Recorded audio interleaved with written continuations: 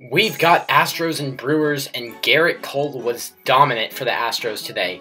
Just a day after Justin Verlander threw a no-hitter with 14 strikeouts, the second ace in the rotation responds with 6 innings pitched, 14 strikeouts of his own, only allowing 3 hits. So I guess this was kind of the disappointing performance out of the two, and you really can't say that, as they're the first pair of teammates to have back-to-back starts on back-to-back -back days with 14 Ks each. His slider was nasty, he was hitting 100 miles per hour. Him and Verlander are going to be a duo that no one wants to face in the playoffs. Then add Greinke to that, that is just unstoppable. Yordan Alvarez, though, he hit his 22nd homer of the year, and that ties him with Carlos Correa for the most home runs in a single season by an Astros rookie. He's likely to pass that, you'd think, and speaking of homers, Christian Yelich knows a thing or two about them. That is long ball number 43 in the bottom of the ninth to tie it up. That's a clutch homer for Yelich. Now there's a four-way tie at number one between Alonso, Trout, Belly, and Yelly. So who will win the race to 50 and who will have the most homers this year?